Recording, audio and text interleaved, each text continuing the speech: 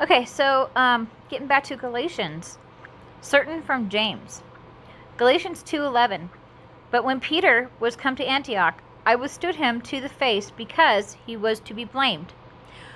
For uh, for before that certain came from James, he did he did eat with Gentiles, but when they were come, he withdrew and separated himself, fearing them which were of the circumcision.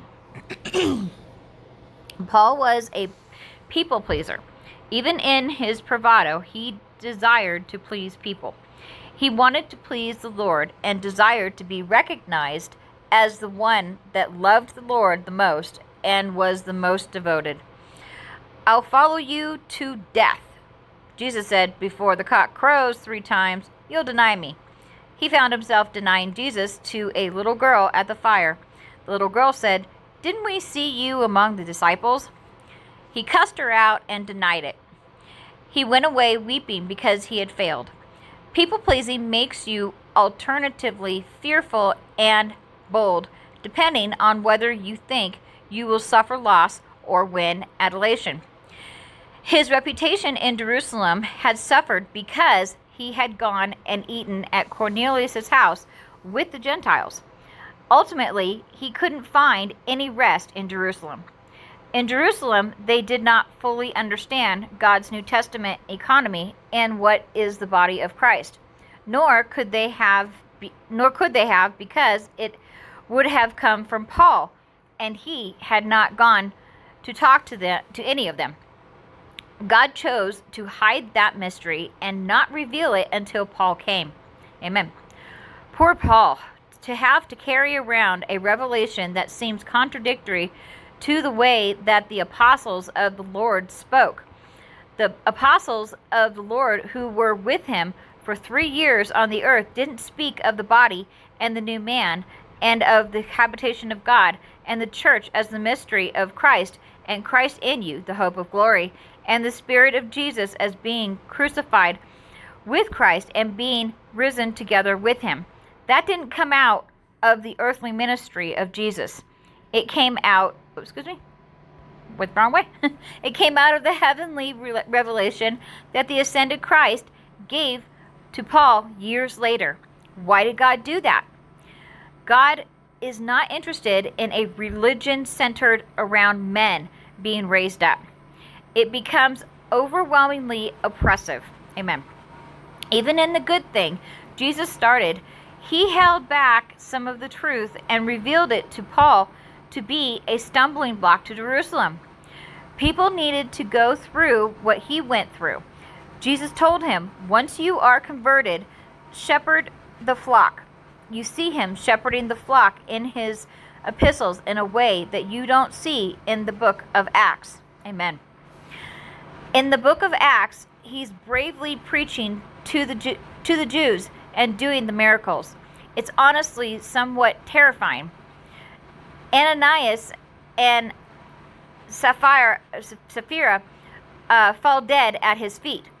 There is so much authority and power as God is vindicating the resurrection of Christ.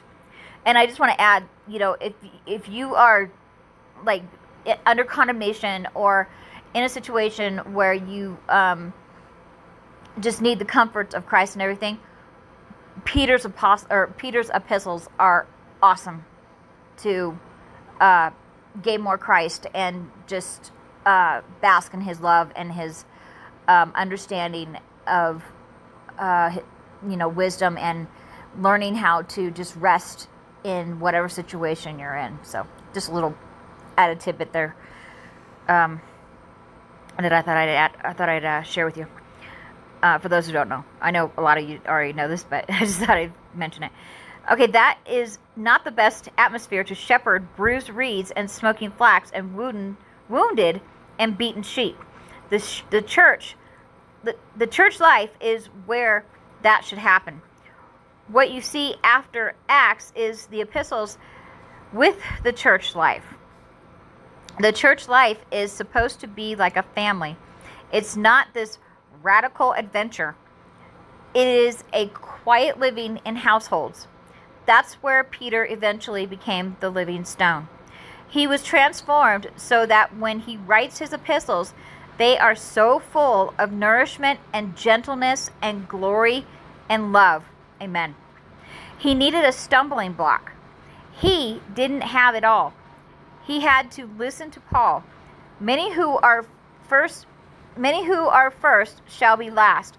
This is the way God works. He will hide some truth.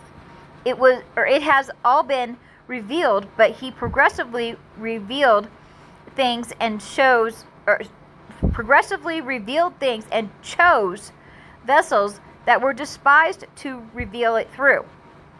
He does this to put at naught the strength of the flesh and the wisdom of the flesh. Amen. The wisdom of God is hidden in a mystery, and God chose not noble or not many noble, wise, or powerful, but the foolish things that the things the world despises. Paul had not even been with Jesus in his earthly ministry. Who was he to reveal these things? Who was he to rebuke Peter?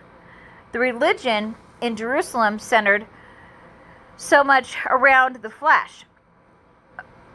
The, the religion in Jerusalem centered so much around the flesh. That's why James was exalted. He was the Lord's brother according to the flesh. He was the next in line to the throne of David. Of course, he has to have the authority. Everyone respected James. Peter should have had the lead, but eventually James is presiding over the council in Acts, and later historians like uh, Eusebius are saying he took the epistle, uh, uh, episcopal throne in Jerusalem. That's how they looked at it. This is overly exalted flesh. Amen. Paul said, We no longer know anyone according to the flesh. We used to know Christ according to the flesh. There is a new revelation, a body of truth from the ascended Christ concerning the implications of what he accomplished on the cross for the church and what is the church and what is his role now. Most people think Jesus is just up in heaven waiting for the rapture. They don't know anything about his high priestly ministry to dispense himself as life for the body up, up for dispense himself as life for the body up the up, up of the body of Christ. I don't understand that. Okay, we're just gonna skip that. Um, which is all in Paul's epistles. So their whole life is just waiting for the rapture to the point that it becomes an idol because it is gutted from the present reality of Christ. Amen. He can't or you can't know the you can't know that apart from Paul's ministry. You don't get it from the synoptic gospels. You get it from Paul's gospel, which is Romans, the fifth gospel. Amen. There is a record of Jesus on the earth and what he did, that's what most of the apostles witnessed. Then Jesus went to heaven and was hidden from their eyes. He ascended, and yes, they received the Spirit as a clothing of power. They knew their sins were forgiven, but they still thought thought of it in terms of Israel's new covenant and thought the Gentiles needed to be under the law. They were still loyal to the temple.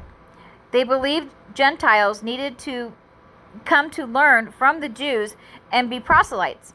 James was eventually considered the best to lead the church because he was the Lord's brother. Ironically, James wasn't even with the Lord during the earthly ministry. He was with his other brothers who mocked the Lord, saying, Why are you hiding? If you do these things, Go do a miracle for the world to see. John 7 4. Amen. The Lord did appear to him in resurrection, and he did love the Lord and serve the Lord. But his claim to the throne of David and his bloodline, and being the brother of Jesus, eclipsed in the mind of everyone in Jerusalem any lack he had. They rejected Paul because he wasn't there with Jesus, but neither was James. I'm not saying that James and Paul were against each, each, each other. I'm saying the people were surrounded, or the people who surrounded James and overly exalted him and gave too much weight and credibility to him, pitted that influence against Paul's ministry, and created problems everywhere Paul went. Amen. The root of the issue was flesh versus spirit. I know that these are historical tangents, but they bring an interesting perspective. This is really what happened and how messy it was in the book of Acts. When you know that, you can take some pleasure, or excuse me, you can take some pressure off. What was that? Oh, um, sorry about that. Uh, where was I? Okay. When you know that, you can take some pressure off yourself to try to reconcile everything James said with what Paul said. You can say, I don't know. I believe the Holy Spirit inspired it. But I'm going to stand with the gospel and I'm not going to accept any interpretation of James that overturns my understanding of the gospel. You don't even need to dig further than that.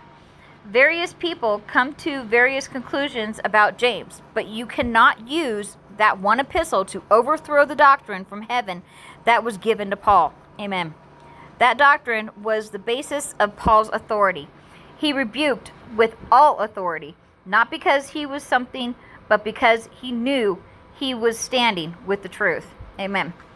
The good news about this is that it gives us all a chance to stand in the truth and operate with the authority of the head when he when when we stand in the gospel.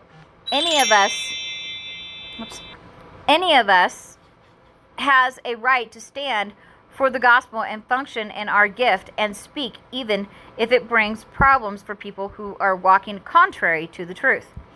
That's not because we are divisive. They are the ones who have the issue. Verse 13 And the other Jews disassembled likewise with him, insomuch that Barnabas also was carried away with their dissimulation. But when I saw that they were that they walked not uprightly according to the truth of the gospel, I said to Peter before before them, all if if you being a Jew live live after the manner of Gentiles and not as do the Jews, why compel the Gentiles to live as do the Jews? Paul says he saw they walked not uprightly according to the truth of the gospel by shrinking back from the Gentiles they were not walking according to the truth of the gospel. As we have said, this is what it means to walk in the Spirit. It is to walk in the liberty that we have in Christ according to the truth of the gospel. Amen.